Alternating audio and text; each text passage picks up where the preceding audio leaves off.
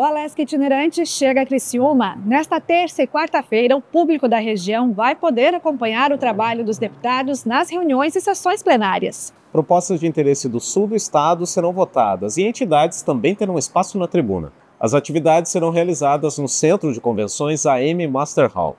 Até o fim do ano, o Alesc Itinerante também vai passar por Lages e Chapecó em uma comemoração aos 190 anos da Alesc.